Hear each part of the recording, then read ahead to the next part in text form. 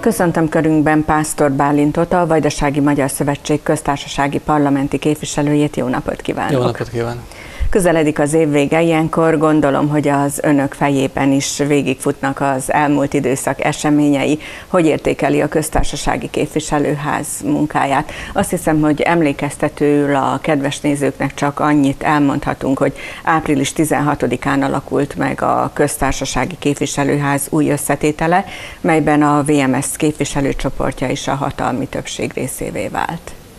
Igen, ezt megelőzően volt egy választási kampány. A VMS az elmúlt 22 évnek a legjobb választási eredményét produkált a, a, a választók bizalmának köszönhetően, hiszen növelni tudtuk a képviselők számát, és 1993 óta nem volt hat képviselője magyar pártnak a szerbiai képviselőházban. Ezen kívül a hatalmi többség részévé váltunk, koalíciós szerződést írtunk alá a szerb haladó párttal. Közzé is tettük ezt a szerződést, ami egy újszerű megoldás a szerbiai politikai szintéren. Ezt azért tartom fontosnak, mert az emberek bármikor ellenőrizni tudják, hogy mi valósult meg ebből a szerződésből, és azt gondolom, hogy ez a műsor alkalmat ad majd arra, hogy leltárszerűen végigfussunk ezen, és hogy hogy leszűrjük következtetésként, hogy az első fél évben mi teljesült.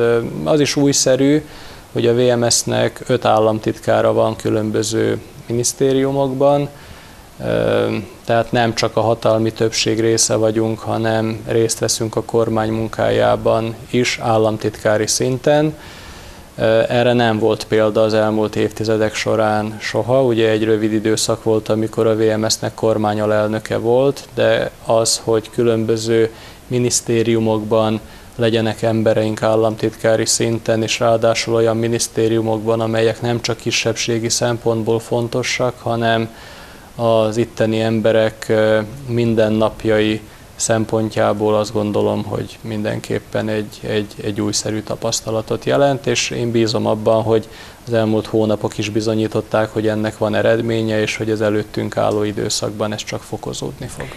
Igen, a VMS-nek vannak államtitkárai, mint hallhattuk, öt államtitkár egy alelnöke az Európai Integrációs és egy alelnöke a Mezőgazdasági Bizottságban, ezen kívül számos bizottságban is vannak tagjai, ugye mennyit jelent ez a gyakorlatban, mennyi pluszot? Nagyon sokat jelent azért, mert korábban tudunk azokhoz az információkhoz hozzájutni, amelyek a munkánk sikerét tudják növelni. Egyrészt a, a jogalkotás folyamatában, tehát korábban tudunk számunkra fontos elemeket beépíteni a készülő törvényekbe, másrészt pedig bizonyos pályázati lehetőségek esetében ugyanúgy, ahogy korábban az a tartományban volt jellemző, és most is jellemző a tartományban, úgy most már a köztársaságra is jellemző, azzal, hogy el kell mondani azt, hogy itt azért nem lehet az első naptól kezdve csodát várni, ezeknek az embereknek be kellett illeszkedniük. Belgrádban azért egy picit másképp működnek a dolgok, mint amihez mi itt Északbácskában hozzászoktunk, vagy akár Bánátban. Úgyhogy az első egy-két hónap a, a, a, a, a, a csapatnak a bejáródására ö, telt el, de azt gondolom, hogy jól föltalálták magukat az embereink, és most már teljes sebességgel folyik a munka. Hát igen, és mire a megbízatásuk lejár, addigra meg akkor majd csodákat várhatunk. Addigra már biztos, hogy nagyon profik lesznek, igen a reformok évének nevezhetjük az elmúlt időszakot. Mi az, amit kiemelne ebből?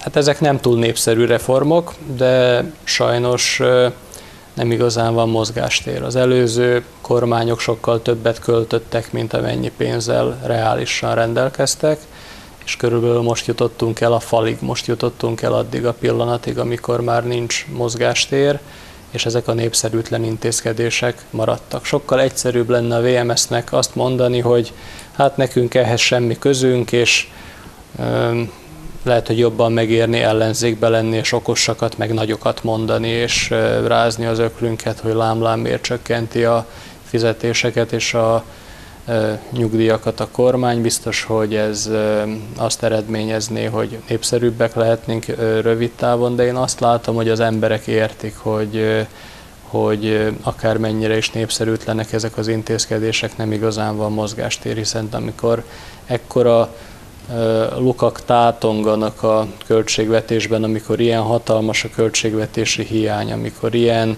ilyen kevés külföldi befektető jelenik meg Szerbiában, amikor még mindig ennyire rossz az országnak a külföldi megítélése, ha bár ez javult az elmúlt hónapokban, akkor azt gondolom, hogy rövid távon sajnos nem lehet csodákat várni. Az, amire mi törekedtünk ebben az időszakban a kormány megalakulásától, az volt, hogy az államtitkáraink munkájával is, illetve ott a képviselőházban is azokat a témákat, amelyek a mi embereink, a mi választóink szempontjából fontosak napirendre tudjuk tűzetni, illetve napirenden tudjuk tartani, és megoldást tudjunk ezek közül néhányra találni.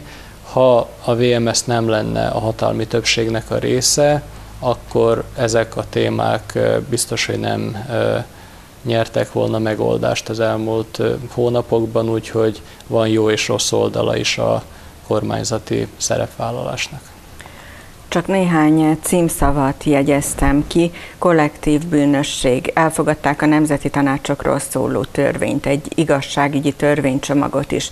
Jóvá hagyták a vajdasági statútumot, és több a kisebbségvédelem szempontjából lényeges jelentést is. Ön szerint mi ezek közül a legfontosabb?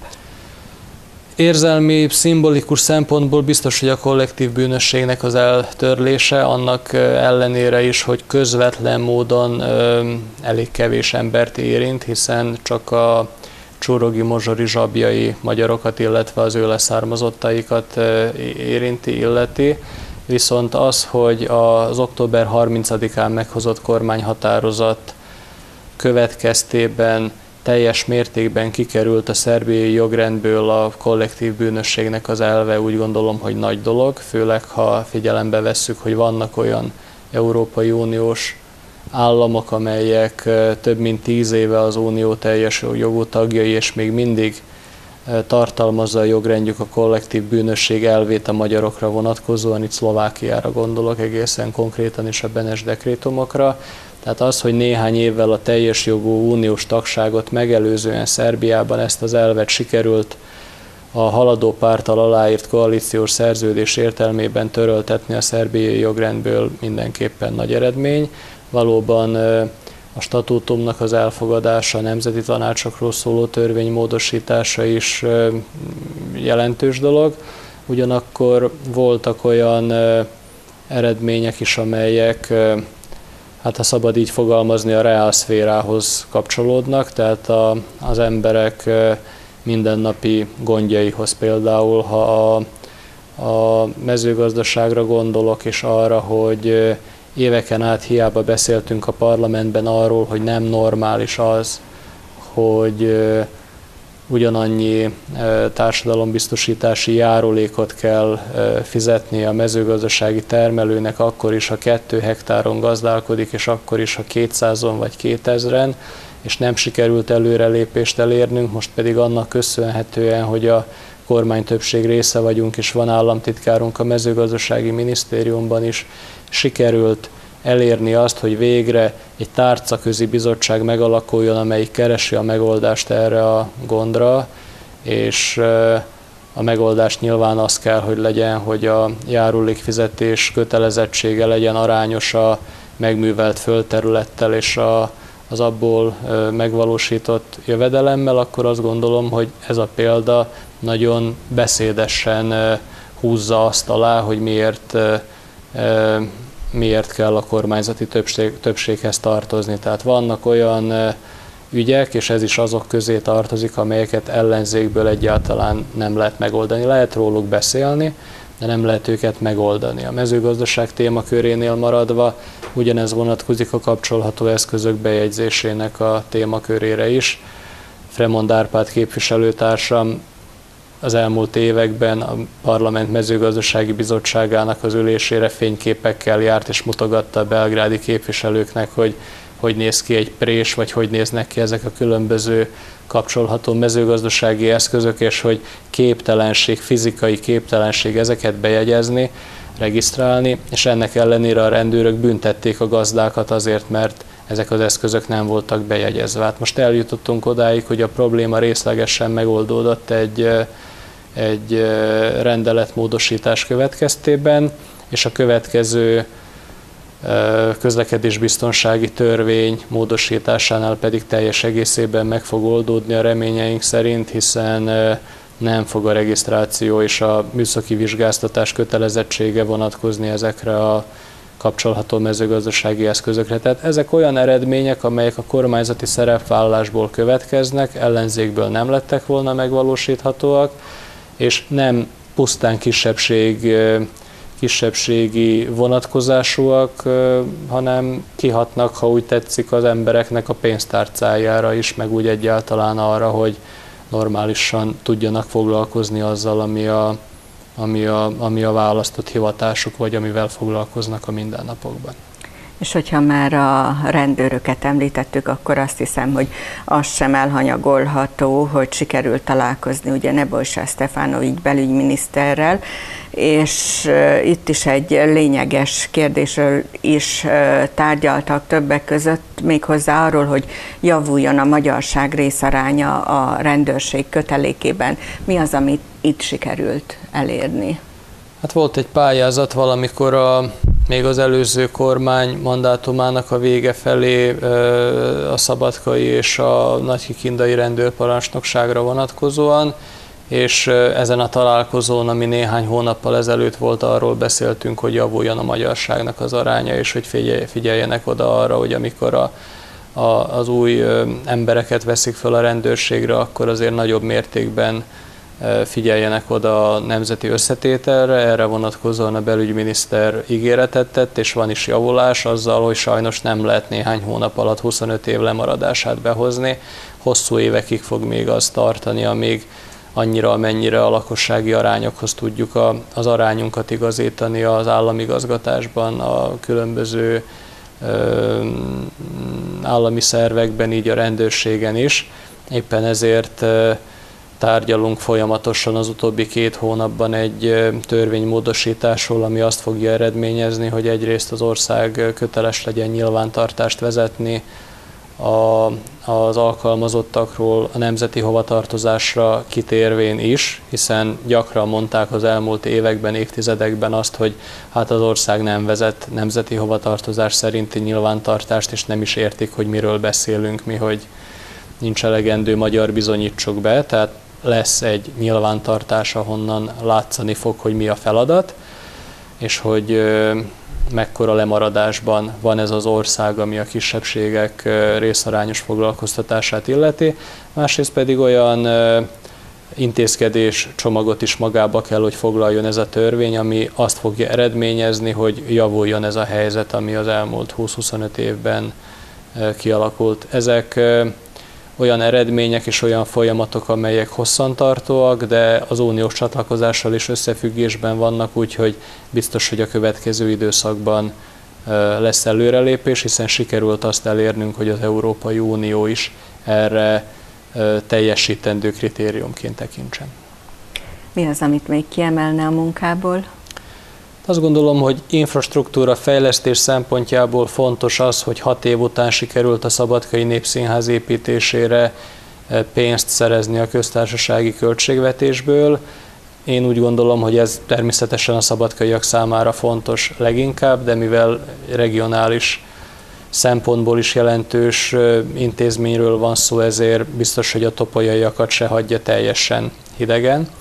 Másrészt a Belgrád-Budapest vasútnak a korszerűsítése, ezen kívül pedig a Szeged-Szabadka-Baja vasútvonalnak a, az újraépítése olyan projektumok, amelyek megvalósításához, megvalósulásához komoly köze van a Vajdasági Magyar Szövetségnek, és ezek nem kizárólag vagy nem elsősorban utasforgalmi szempontból jelentősek, hanem gazdasági teherszállítási szempontból is attraktívabbá teszik ezt a mi régiónkat a befektetők szempontjából, úgyhogy ilyen tekintetben úgy gondolom, hogy jelentős dologról van szó. Hát a köztársasági parlamentből lassan elérkezünk házunk tájához is, egyre közelebb, ugye Topolyához is, hát 2015 júliusáig kell privatizálni az állami és önkormányzati tulajdonban levő médiaházakat. Erről már többször szó esett, és a VMS volt az egyetlen párt, aki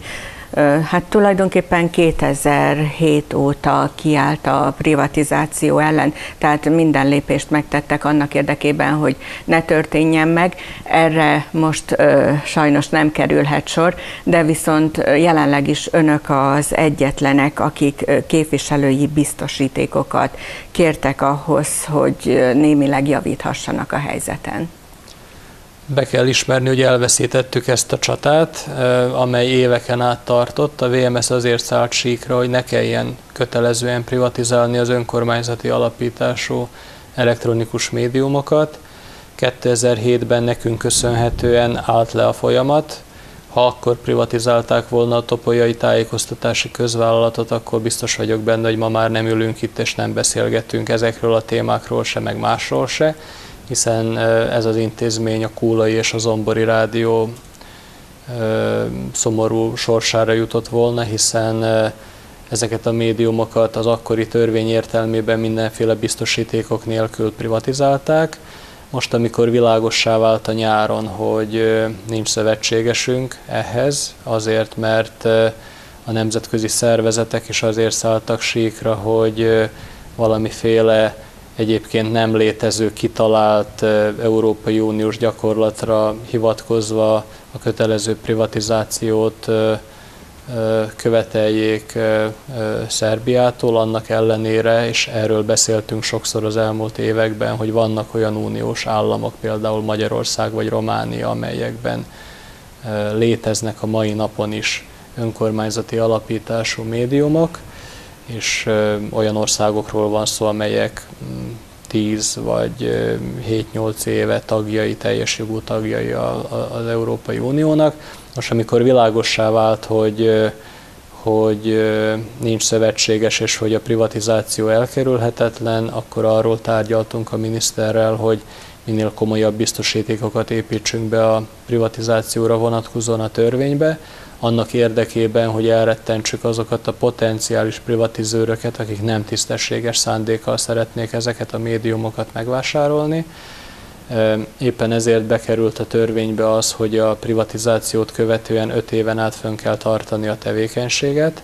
Ez önmagában véve semmit nem jelentett volna ez a biztosíték, de azt is előirányozza mi javaslatunkra a törvény, hogy az összes sugárzási nyelvet 5 évig meg kell őrizni. Ez is kiátszható lehetett volna azzal, hogy például magyar zenét sugároznak, és azt mondják, hogy ezzel megoldott a magyar tájékoztatásnak a kérdése például ebben a cégben a privatizációt követően. Éppen ezért azt javasoltuk, és ez is bekerült a törvénybe, hogy öt éven át a műsorrácsot is fönn kelljen tartani, hiszen közszolgálati, regionális vagy lokális médiumokról van szó, és éppen ezért fönn kell tartani a tájékoztatási, művelődési, sport, gyermek, ifjúsági műsoroknak a, az arányát. Ez gazdasági szempontból biztos, hogy nem kifizetődő a potenciális privatizőr számára, éppen ezért gondoljuk azt, hogy elrettenti azokat, akik nem tisztességes szándékkal vásárolnák meg a jelenleg még önkormányzati alapítású elektronikus médiumokat, és a következő hónapokban az lesz a feladatunk, hogy olyan vevőket próbáljunk meg fölkutatni, akik azzal a szándékkal vásárolnák meg többek között a topolyai tájékoztatási közvállalatot is, hogy fejleszék és megőrizzék annak többnyelvű jellegét. Tudom, hogy elég nagy hullámokat kavart az, hogy a az egyik szélső jobboldali párthoz köthető vállalkozó fejezte ki csak a szándékát szeptemberben a privatizációra vonatkozóan, a topolyai tájékoztatási közvállalat esetében is, ahogy a Szabadkai Rádió esetében is, és egyébként az összes vajdasági székhelyű médium esetében. Ez azonban nem azt jelenti, hogy ő fogja megvásárolni a közvállalatot, hiszen a törvény értelmében az árverésen, hiszen árverésre kell sor kerülni, mindenki részt vehet, azok is, akik szeptemberben nem küldték el a szándéknyilatkozatokat, és ezért mondom azt, hogy a következő hónapokban azt követően, hogy a lehető legjobb jogi keretet sikerült a privatizációhoz biztosítani, ha már az elkerülhetetlennek bizonyult, az a feladatunk, hogy a, az itt dolgozókkal, meg azokkal, akik számára fontosak ezek a, a, a médiumok, megpróbáljunk olyan vevőket felkutatni, akik tisztességes szándékkal vásárolnák meg ezeket a cégeket. Bizakodó-e tekintetben? Hát én azt gondolom, hogy amit lehet, azt mi megtettük az elmúlt években, akkor lennék elégedett, ha, ha, ha sikerült volna kivételeket építeni a törvénybe, például a kisebbségi nyelveken is sugárzó médiumok tekintetében, így viszont nem marad más hátra, mint hogy a következő néhány hónapot valóban arra használjuk ki, amiről az előbb beszéltem, és én bízom benne, hogy tudunk megoldást találni. Meglátása szerint mi fogja jellemezni a képviselőház munkáját a következő időszakban? A következő évben is biztos, hogy a gazdasági kérdések, a gazdasági törvényjavaslatok lesznek azok, amelyek leginkább jellemzik majd a parlamentnek a munkáját. Ezen kívül várható az új tankönyvtörvény, az új művelődési törvénynek az elfogadása, ezek kisebbségi szempontból természetesen magyar szempontból nagyon fontosak. Bízunk abban, hogy sikerül még egyszer módosítatni a nemzeti tanácsokról szóló törvényt annak érdekében, hogy néhány hatáskör visszaemelhető legyen a szövegbe azok közül, amelyeket januárban hatályon kívül helyezett az Alkotmánybíróság. Továbbra sem mondtunk le az éró tolerancia elvének a bevezetéséről a lopásokra vonatkozóan, erről folyamatosan tárgyalunk a szakminiszterekkel, és az imént említett részarányos foglalkoztatást biztosító törvény is a feladataink közé fog tartozni a következő hónapokban. Mi pedig bízunk benne, hogy mindenről beszélgetni tudunk még ebben a stúdióban is. Köszönöm szépen, hogy itt volt velünk ebben a közel fél órában, és további eredményes munkát kívánok. Köszönöm szépen.